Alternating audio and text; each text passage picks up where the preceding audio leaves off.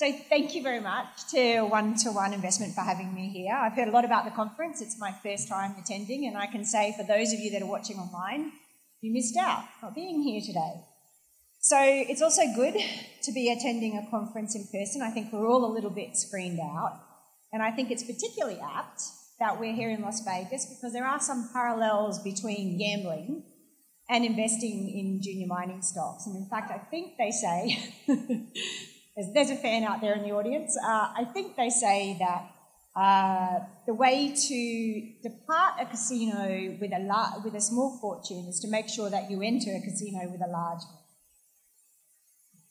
So, why are we here today? I think it's so that we can do less of this and more of this. So, how I look at the sector is really starting from the commodity cycle. I think the four most dangerous words in investing are this time it's different. It is never different, and the fact that it's never different and commodity cycle has a very predictable uh, trajectory uh, if, if investors are aware of that and take notice of that and have some discipline as to where you are in the commodity cycle, it can really help increase your chances of success. And at the end of the day is why we're all so I think we're all familiar with the qualities of a bear market. Now, this chart that I'm going to walk through is really adapted from Lion, Lion Selection Mining Crop. It's a great way to instill discipline into the investment decision making process. I'm not copying, imitation is the most sincere form of flattery but I've adjusted in terms of how I look at the sector. So as we're aware in a bear market, what happens is all discretionary funding or expenditure, capex, it ceases to exist. This is the R&D of our business. And in the long run, that's actually positive for uh, underlying commodity price and then in future investment, that it's pretty hard to live through your own companies in a riding wave down.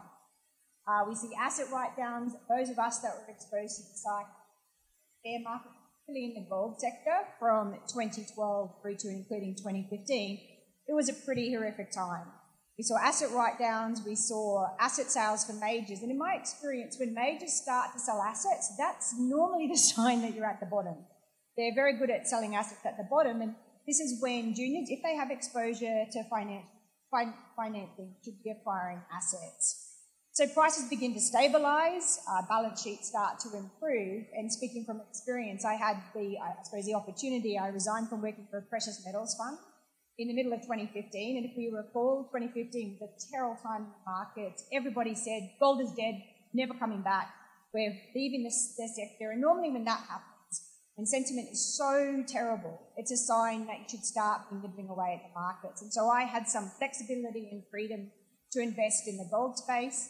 I was, I suppose, at peak gold knowledge because I'd just spent the previous five years with Precious Metals Fund, where we companies all over the world. And my thesis was I didn't predict 2016, nobody did, despite many pundits having reverse appreciation of their, of their prowess. But I felt the sector was so bad, it couldn't get that much worse. And so my thesis was to invest in those stocks that had a strong balance sheet, could survive the next two to three years, and uh, a large resource base, but did not have to spend money. So essentially the optionality plays. I thought I was pretty clever when 2016 happened, but to be frank, you could have invested in absolutely anything at the end of 2015, and you would have had significant share price performance in the beginning of 2016. As a cycle starts to mature, uh, we see an increase in that higher risk capital raising. So exploration dollars start to be spent. We start to see smaller companies IPO we start to see low risk M&A, and we've seen a lot of this over the last three. By low risk M&A, I, I, that's where like meeting like. It's producers either acquiring or combining with other producing companies.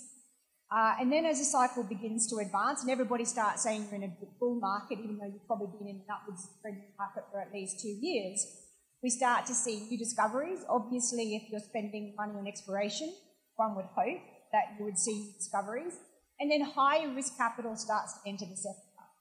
PE funds start to monetize assets, and we've already begun to see this in our sector. Orion has just recently started to exit from its Mantos copper project by selling it to its uh, copper mines in by selling, selling it to Capstone. We had Appian announce the one billion sale of its two assets in Brazil to Sibanye. Uh, obviously, that transaction is unlikely to go forward. And of course, Waterton is starting to divest itself of its gold assets. As the cycle continues to mature, we start to see more aggressive M&A and higher risk capital becomes much more plentiful, particularly if you have some discoveries in contiguous properties. You need to start getting concerned when investors demand growth. When the investors demand growth, uh, companies very rationally, the easiest way to do that, because to grow your business is very takes a long time, it's a capital investment. Easiest way to do that is to change your gold price assumption. So you increase your gold price assumption, your reserves decrease, your margins decline. That's all very well and good in an expanding gold price and uh, commodity price environment. But of course, what goes up must ultimately come down. So when you need to be very, very concerned is when moose pasture gets highly valued, generalists enter the market en masse, and you have a, a peak in capital raises. When you need to be fleeing the sector is when your taxi driver or Uber driver is talking to you about mining stocks. We see an explosion in high risk M&A and prices begin to stabilise and then fall, and then we're back in the bear market. Thank you. So how do you increase your probability of success? By making smarter decisions. So obviously the cycle is absolutely paramount. You're in an upwards trending commodity price environment. A rising tide floats all boats, and conversely, a receding time trend all boats. So for me, everybody would probably have a little bit of a different perspective, but for me, people are absolutely the most important. What you want to see is a fit for purpose management team. What that is, inherent skill set uh, of the people that they can advance their company and deliver on their strategy. You can have a very mediocre management team destroy value in a good project, and you can have a great management team extract enormous value in a mediocre project. And sometimes in our sector, one can be attracted to asset quality and think there's some rating opportunity. I'd call these the value traps. If you do not have a management team in the board that is capable of extracting that value, uh, ultimately you end up not delivering on your investment. And of course, we want to see companies uh, hard work. Being a CEO is essentially a 24-hour job. If you're seeing management teams at best conference, running around in shorts and shirt, nipping off the golf, I would say that's not a good sign. On the project side of things, obviously project quality is paramount. The most important ingredient are the rocks. You can't change the rocks. Uh, the biggest risk in our business is grade, and with gold deposits in particular, you have big risk around grade because of the nature of the beast, that is their high nugget.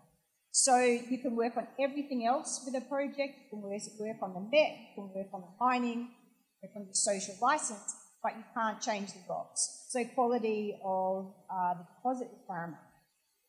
Place, I think this is an interesting one. What we tend to see in our sector is a, uh, is a bias towards Anglophone countries. And by that I mean an investment bias towards companies with assets in Canada, in Australia, and in the States. I would argue that every single jurisdiction in the world has variable degrees of political risk. They just manifest themselves differently. So even though the States is considered to be a very safe jurisdiction for your investment dollars, we've just seen a company in Alaska have a reversal of its record of decision to build a road to its primary asset. Now this is said occurred in Brazil or Peru or Chile, you'd be screaming nationalisation. Strategy, of course, it's very, very important. Hope is not a strategy. So what you want to see is management teams that have a very clearly messaged strategy, uh, that strategy is realistic in the context of where you are in the cycle, and it's also realistic in the context of their balance. So if you're a tiny little tenant or a junior with a big plus multi-billion dollar capex bill, it's unlikely that you're going to be able to advance that on a standalone basis. Promotion, sometimes considered to be a dirty, dirty word in our sector, but it's really important. There are literally thousands of publicly listed junior exploration companies in the world all competing for a finite source of capital. And so management teams must have an ability to message their story in a way that's palatable to those sitting across the table. And Rick Rule said this best, essentially 60% of your job should be messaging the story and hopefully attracting that margin dollar. I think one thing that we're amiss in our sector is we tend to be preaching to a captive audience of the same type of investment I personally, if I was running a company again, I'd hire a millennial. I think there's enormous opportunity out there to increase our investor base. Obviously, the wider the number of investors that are interested in the sector, uh, theoretically, the higher your valuation will be. Cost of capital, this is a really important one, and I think even larger companies don't understand this concept. And what I mean by this is, what are you trading at relative to your share price? So if you're trading at a premium to your underlying value, the most accretive thing that you can do is issue equity. Now, everybody says issuing equity is dilutive. It isn't. You're trading at a premium, it's very accretive. It is also accretive to acquire another company's shares. So those companies that are trading at a premium, they don't take advantage of that ultimately they'll trade down to fair value. Other companies, obviously, if you're trading at a discount, that limits your options, and really what you need to do is try and get share price up so it gives you a little bit more flexibility. Ironically, as an institutional investor, when you're sitting across the table juniors, everybody is trying to twist themselves any way that they possibly can to show how undervalued they are. Theoretically, an investor could say, well, if you're that undervalued, we're doing something wrong in terms of getting the market to appreciate the underlying quality of your asset base. Of course, catalysts, uh, in a strong commodity price environment, one would expect companies to move upwards, but we would like to see catalysts above and beyond generally the underlying commodity price. And really the key one, reason why we're all here and in this sector is the junior mining sector is one of those very few uh, sectors that are investable where you can have incredible share price performance in a very, very short space of time. I'm sure you're familiar with Filo, they had an exceptional drill result last year. Stock rocketed up very, very quickly and continued its positive trajectory. Interestingly enough, Reunion Gold, uh, I'm an investor. I started picking up my position here. They had a really good result. The market didn't take that much notice of it. So Reunion was one of those rare opportunities, if you're following the story, to start to accumulate a position before the general market got involved and started embracing the company. I think we're all familiar with a recent takeover, Kinross acquiring Great Bear. Absolutely fantastic for Great Bear shareholders. I think Great Bear is an example of a company that executed their strategy perfectly. In our sector, when the upside is unknown, by upside I mean proof theatre, which is a resource estimate, we have a propensity to uh, assume infinite upside. And so Great Bear management and board executed purposely. This was less favourable for a Kinross shareholder, and I was a Kinross shareholder.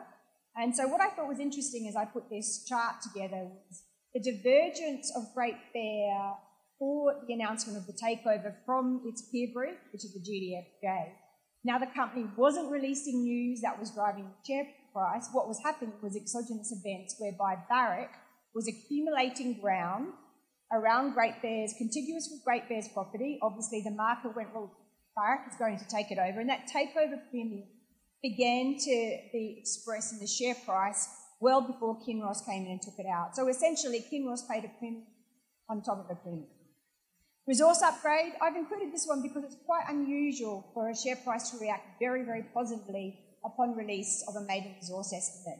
Again, back to the Great Bear example, when you have strong drill results, the market loves a story, they tend to imbue a very, very high degree of value and it can be quite difficult for companies to meet those expectations. This is an example, Chalice, with its exceptional discovery in Australia. The company had a very, very high multi-billion dollar valuation, valuation that we would love to have. Uh, and then they released their inaugural resource estimate, and again, the, the, the share price responded very favourably. I'm involved with, as a, as a founding director with a company that's got a lookalike asset in Brazil and we always point towards Chalice as the multi-billion dollar valuation like to have as we go public. Closology plays, I'm sure we're all familiar with these. This is a recent Newfound Gold example. Uh, Newfound Gold had a great discovery in Newfoundland. It's become the go-to place for exploration dollars. And what we saw was any company that had projects that were contiguous with Newfound Gold started to perform in line with Newfound Gold. Now, Labrador, they delivered and produced some breakthrough results, and so they have kept their performance, but the company in blue has not. And so if you are trading based on closology, that can be a dangerous game to play because ultimately the share price can decline quite materially if you don't deliver into market expectations. I just wanted to also highlight here that I've shown uh, three other companies in Newfoundland. All of these companies have resources, quite material resources. And ironically, they are not getting the love of the explorers, despite the fact that they're arguably de-risked, de-risked because they already have a full assessment. Uh, people in promotions, sometimes simply the addition of a high profile individual to your board or management team can react in pretty strong share price performance. This is an example uh, from Oceana Gold, where two well known industry executives that have a strong reputation joined the company. I also thought what was interesting about Oceana Gold what it is it's had outperformance more recently, and it's had no news to drive that outperformance, but it's really correlated with their presence at the BMO conference in Miami late February, early March. Now, I've seen this kind of behaviour uh, post BMO previously. It's where uh, lots of global institutional investors, it's a company that gets exposed, the investing community reacts positively, and it starts to trade up uh, above its peers. Uh, this is an example of known investors, particularly in a bull market. Uh, you have known investors if they invest uh, that can dramatically share price performance. Uh, Michael Gentile is the new Eric Sprott. Whatever he invests in tends to result in positive share price performance. So Michael increased his investment in North Isle, and obviously there was great uh, response as the market dived in after him. Arguably somewhat irrational because nothing has fundamentally changed in the company other than getting an external tick for approval by a known investor. And now the company hasn't delivered that much news flow, but what is intriguing is that positive directory has been maintained over the longer term. You know, in direct contrast, uh, I've shown another company that also has a large uh, copper gold project, but instead of being in British Columbia, it's in Chile. I joined the board of this company in January of this year and then was just recently made chairman. But what's interesting about it is Glencore invested with a 9.9 position, 9.9% position in August of last year. Now, the market responded positively, but not to the degree of a known investor. And I would argue that Glencore understands the copper space very, very well. Now, interestingly, uh, Hot Chili has considered to produce positive news flow uh, over recent months, but is not seeing that expressed in the share price. And one would argue that Chilean political risk is probably a negative overlay, but there's also been some recent positive news out of Chile In terms of the fact that that, that nationalisation bill did not receive the supermajority that it needed to, to move forward. Political risk changes, this one's particularly relevant now. So in the blue is Polymetal, one of the la 10 largest gold mining companies in the world, an exceptionally well-run company, but with a lot of exposure to Russia. So obviously with what's gone on with Russia and sanctions and the invasion of the Ukraine, it had a precipitous decline in its share price, down 90% now, I gratuitously took the opportunity, given the quality of the asset, there's obviously murmurings that the uh, Russian Ukrainian situation will start to resolve itself. So I invested in this last week, and just to show the incredible talk that you can see in our sector, the volatility from negative and positive, it's up material in the last three to four days of trading. So really, when you're exposed to our sector, you have to do the work. You can't just expect to make an investment based on a tip from a mate or a recommendation from a, from a, a friend, you actually have to do the work. And it's not just about maximising gains, it's about minimising losses. And I think this chart is really relevant because studies show that the most successful fund managers over the long term are those that sell their winners, their losers the earliest. And I think this is particularly relevant because of the Polymetal case. So Polymetal is down approximately 90% over recent weeks, it has to go up 900% just to get back to zero. So again, selling your losers early, one of the most accretive things that you can do. So the three rules that I look at when I invest is understand what you're buying. It's pretty simple, know what it is that you're buying. Monitor your investment. So is the thesis as to why you bought it still intact? Actually have to do some work here and manage your investment. And by that, I mean make a decision every time you look at it. Do you want to buy more? Do you want to sell? Do you want to hold? I turn this um, not entirely sure my acronym is going to take off, but I'm sticking with it. I'm nothing if not persistent. So this is the emotional cycle of investing and really what I'm trying to demonstrate here is that investing behavior is very predictable in the same way that corporate behavior is as a result of the commodity cycle. But what I want to show here is this is where juniors, everybody should be raising money. When investors are euphoric about the sector, they'll be willing to overpay. And conversely, this is where, uh, if one has access to capital, that juniors should be acquiring assets. Now, if you can't acquire assets, there's nothing wrong with going into hibernation. And it's this part of the cycle that the smart money the PE funds tend to be acquiring assets. We're all here because we're interested in the equity of companies. It's really important to remember where you sit in the pecking order. As an equity investor, or the bottom of the bottom, it's critical to remember that most actions that companies take do not require a shareholder vote. So you could wake up one day and the management team has done something appalling and the share price reflects that, and you just have to suck it up. So, uh, and then recently we've had an emergence of the royalty and streaming companies a very large supplier of capital in our sector, and their ownership trumps everything. No matter what happens to the company or the asset, royalty and streaming companies still maintain their exposure. So at the end of the day, you need to take a long-term view of our sector. You need to be, you need to look at stocks and go, one of the hardest things that we can do is ride our winners. Sometimes the best thing that you can do is do nothing. And a particular example that I can point to is a number of people that were invested in diamond fields pre the discovery, they said they only made the money they did because it had an unusually long lockup. So if they had been able to trade their stock, they would have sold well before and wouldn't have made the long term gains that they did. So when I was asked to speak, I gave two possible topics, and one was the investing side of it, and the other was lessons from the boardroom. So this got included, so I'm just going to touch on this briefly in my closing remarks. I could spend an hour and bore you to tears about my thoughts in the boardroom. And this really comes from 16 cumulative years as an independent director on companies from exploration through development, construction, and operating. Sometimes I think there's a mismatch or a lack of understanding between directors and management as to what each other's roles are.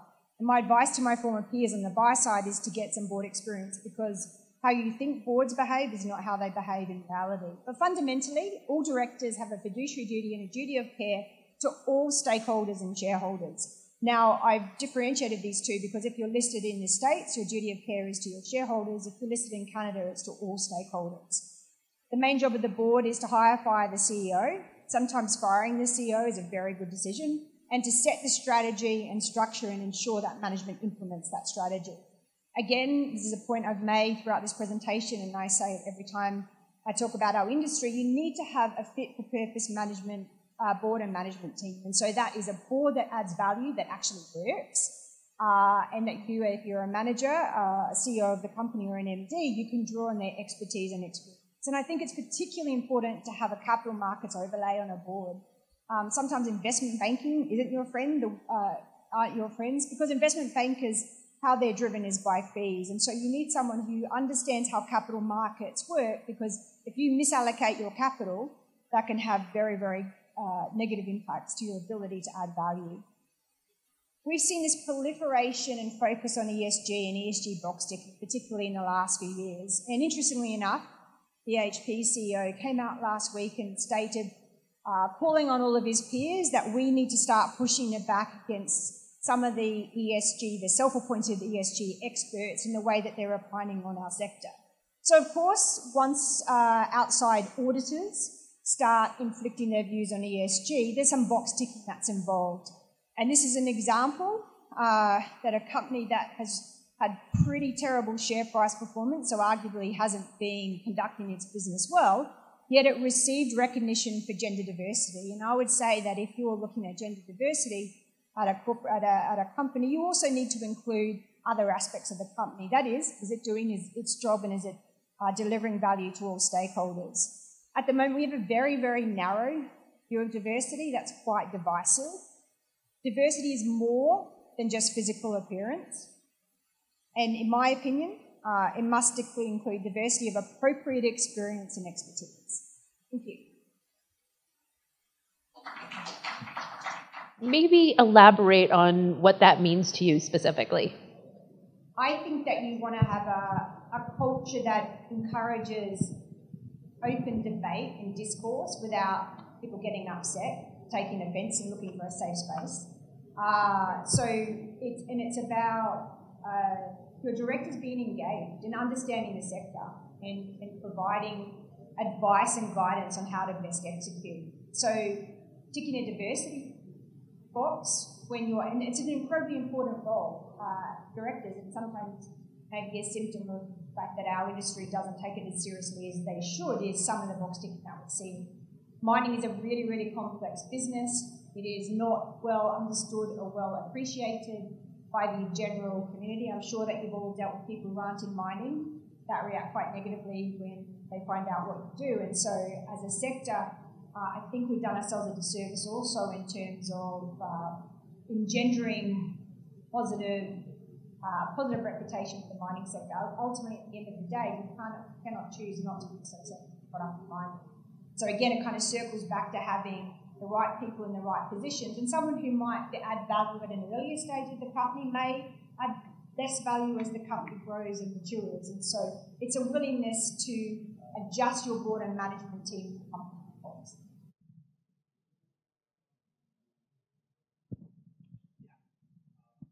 Is your presentation available on a website? Because I think Yeah, but it more costs you people- 10 bucks. Absolutely. Worth more. Just making sure. Yes, I think so. You uh, made the point between stakeholders and shareholders in Canada. What's just a couple examples of someone that's a stakeholder who's not a shareholder? uh, your community, your employees. Uh, so there's been a, and why it's interesting in Canada, there was a legal case, and I can't remember the exact details, where institution, where shareholders brought a class action lawsuit because they said that the actions that the company took were not in the best interest of the shareholders. Now they lost that case because the company said it was in the best interest of the stakeholders. So that's the difference. Stakeholders, but not shareholders too. I think the bank is a stakeholder. Our shareholders, of course, are stakeholders. So, oh yes, yes. Uh, so debt providers, and obviously, if it's a royalty or a stream, they're a stakeholder. Uh, investment bankers, if they're just clipping a fee, then they've moved on. I would say. Anyone else? Um, yeah. I have a question. Oh. Yeah, what are some good resources uh, that we can use to, to analyze mining stocks? Oh. Websites or, you know? Yeah, I mean, obviously, KICO events such as this are really uh, increasing your knowledge base. Uh, there's, I think, some very, very good newsletter writers out there. Some of them provide things that are free, some of them you have to pay for. I think with what COVID showed us is, uh, is that virtual meetings can be very, very effective. And so what I've noticed is there's a huge amount of material online. So you can YouTube almost any company and find a presentation from the CEO. And for me, that's a really good stepping stone in terms of understanding how a CEO is messaging the story because it can be quite different to how their website presentation. So, yeah, I think it's hard. It's hard trying to narrow down the information. Excellent. Well, look, I think we're there on time. Nikki, thank you so much again. And